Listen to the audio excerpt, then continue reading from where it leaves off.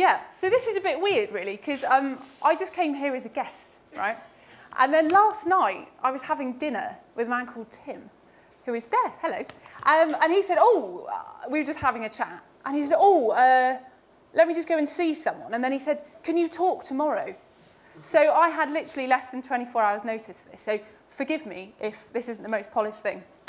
But anyway, so here I am. Um, all I kind of want to talk to you about today um, is, I guess, my story, really.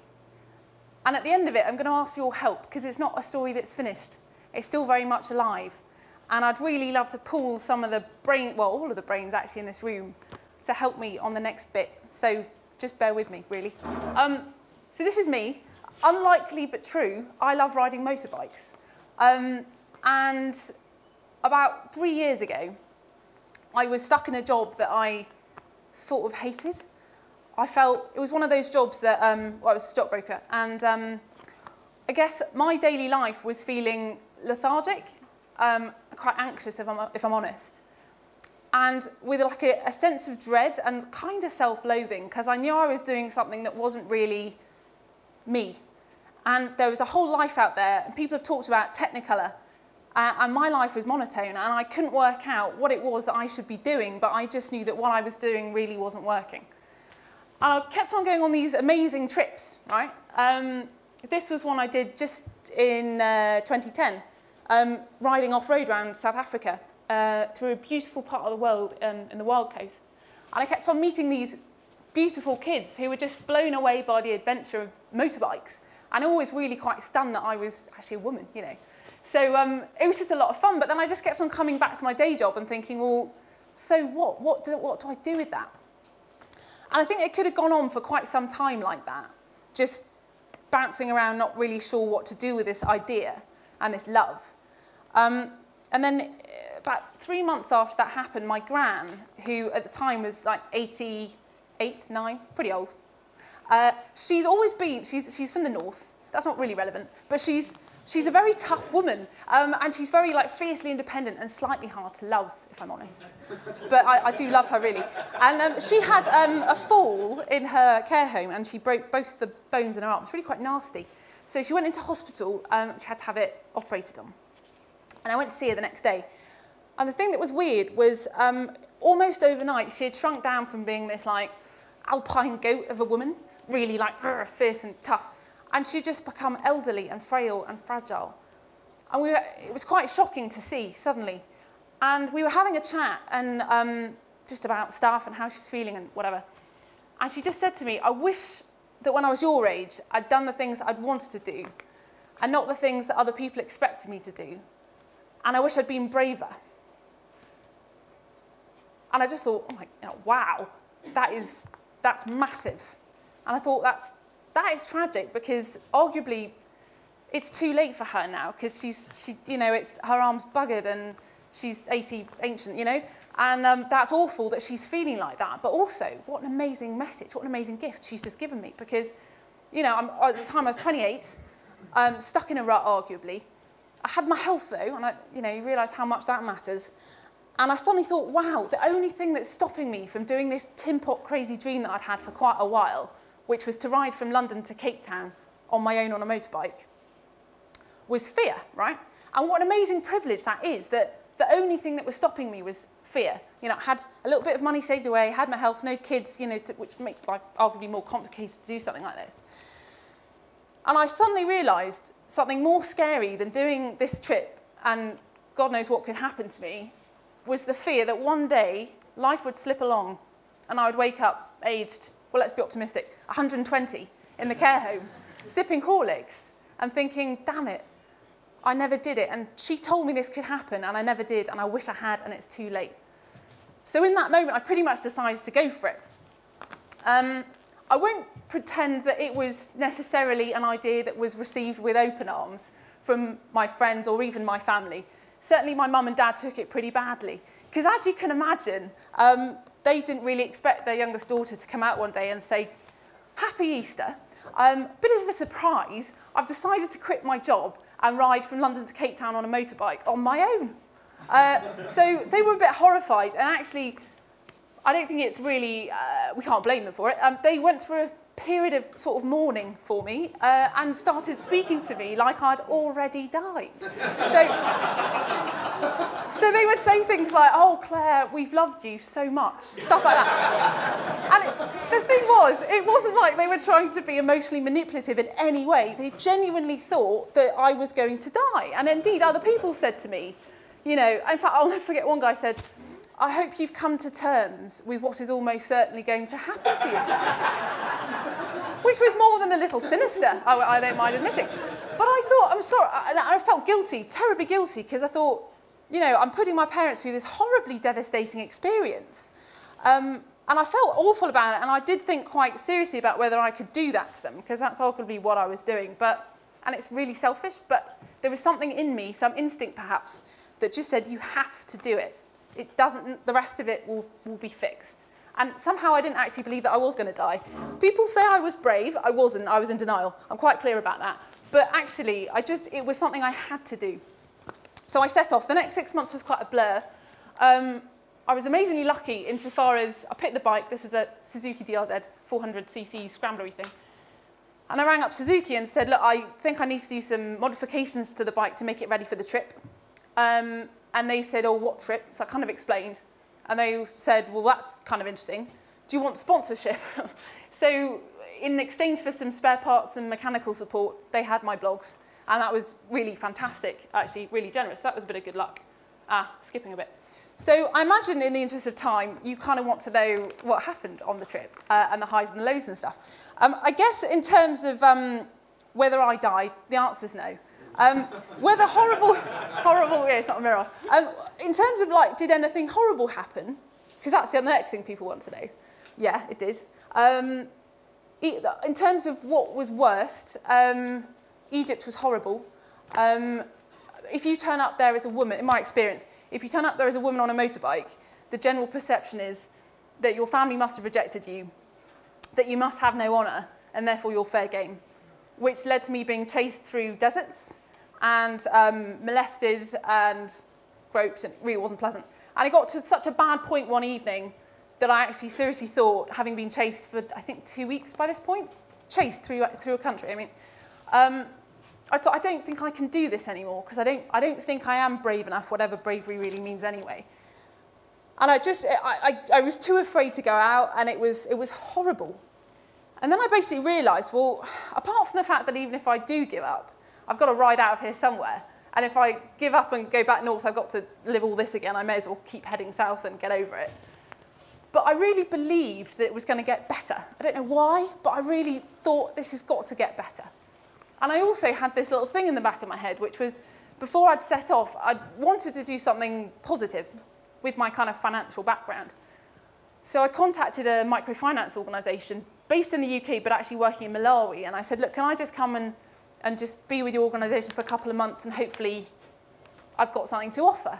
And they said, yeah, sure. And apart from anything, it'll be really, really inspiring for those women who we lend to, these village women to see a woman who's ridden here all on her own on a motorbike. You have no idea what that, that's going to mean to them. And I always kept that in my brain that whenever things got tough, I always thought of those mamas, you know, who I hadn't even met yet, and just thought, they are, that is my target. That's why I'm keeping going with these women. So I kept going.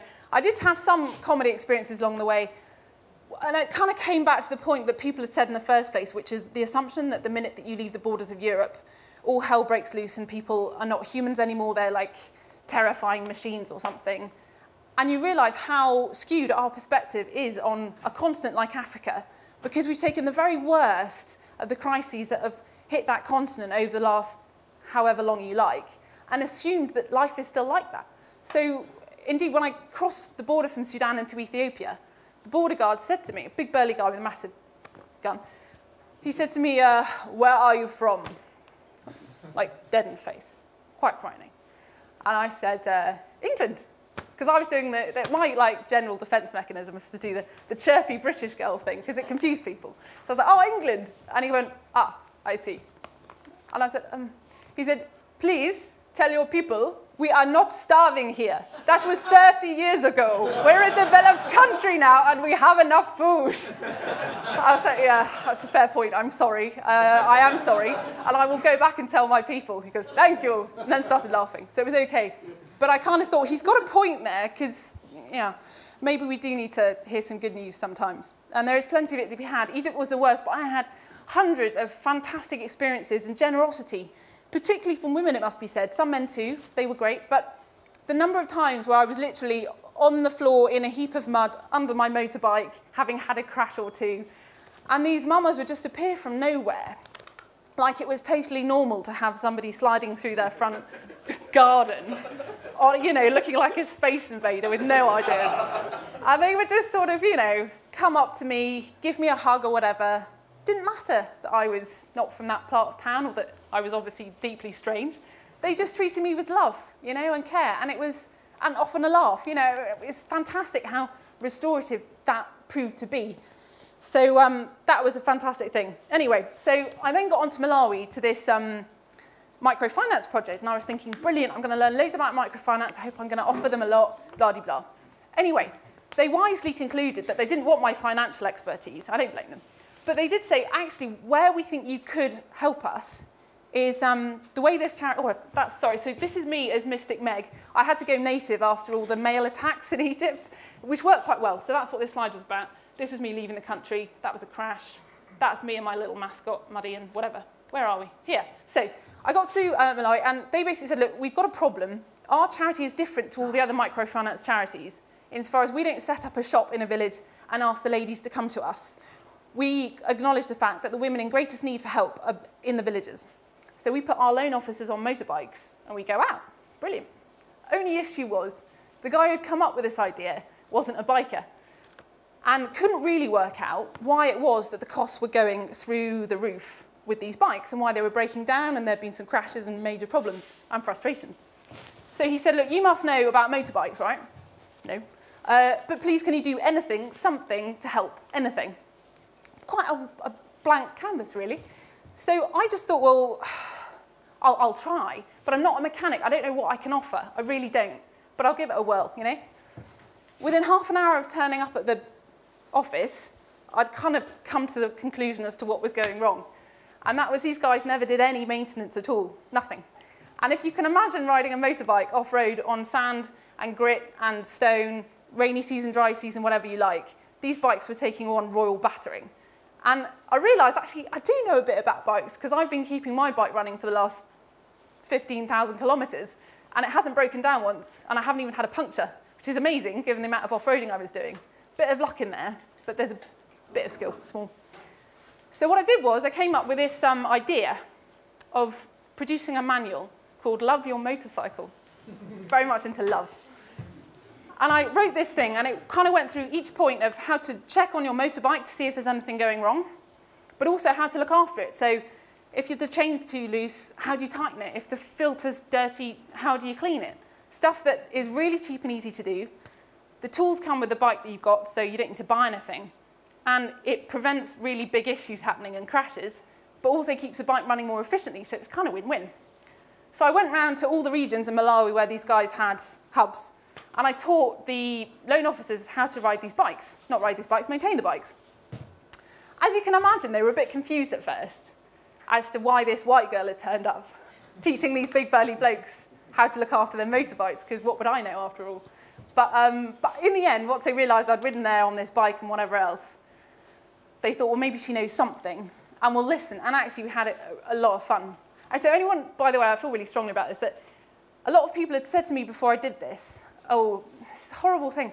Oh, Africans don't do maintenance. What is that? What is that? Africans don't do maintenance. No, I tell you what, if you, in my experience, if you go to Malawi and you explain to somebody why it's necessary and how they can do it and teach them on their level and make it fun and make it understandable, they really want to do it because it makes themselves look smart. They actually really like tinkering, who doesn't? And it helps and they get that. So where that idea comes from, I don't know. But anyway, so I had a lot of fun doing this. And uh, that's air filter stuff. And we had a lot of fun. Anyway, I met all the mamas, and they were brilliant fun. And, and that whole kind of mental picture I'd always had about riding out to see these mummers eventually one day. This is one of the groups of women who had taken donations or loans from the microfinance organisation, and it had allowed them, these illiterate women, to send their children, often there were 10 kids, thanks, to secondary school, which is an amazing leap of progress, right? And they were just really inspiring, energetic, funny women, and I loved it. Anyway, I eventually got to the finish, that was the Cape of Good Hope, alive, as in actually alive, but also just brimming with life, you know? Like I was really alive. It wasn't like in my old job where I'd become this deadened person. I was really alive and happy.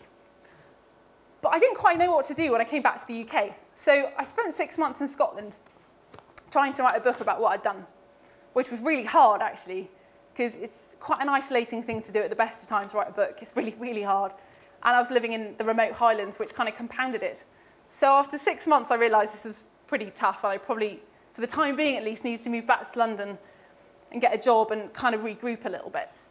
So I just like this picture because um, this was about two weeks before I went back to London, and I took some of my neighbours' kids round on this bike, and I, they just got really excited about it, and I kind of hope that I've passed on a bit of the motorcycling magic to them. So we got back to London, and unfortunately, within two weeks of being back in London, I got up to go to work one day, and I went out to the front of my flat, and the bike was gone. Hmm. And honestly, I was that devastated because it was almost like my wings had been clipped. Ooh. So that was pretty shit. hmm. But anyway, I'll crack on.